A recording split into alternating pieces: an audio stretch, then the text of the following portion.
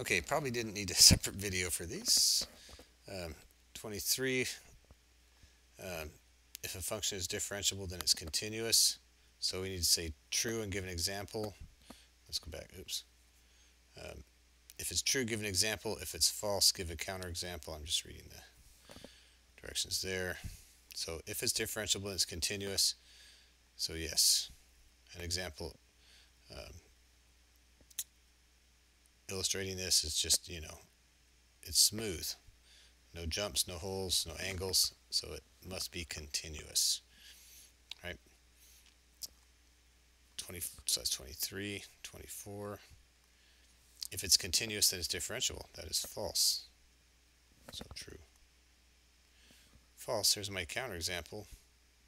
Um, y equals absolute value of x, right? That's continuous, but it's not differentiable at x equals 0. Differentiable. Remember, differentiable means a derivative doesn't exist. 25. If a function is not continuous, then it's not differentiable. Okay, that's true.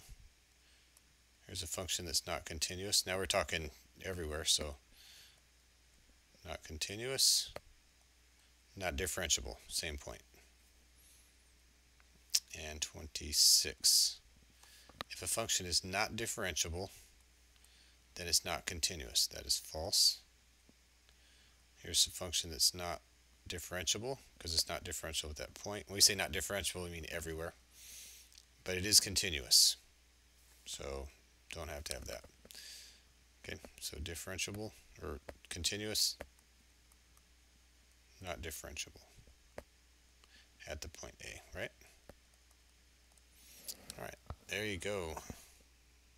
Sorry for going if I went too fast for you, but be sure to ask if you have any questions in class.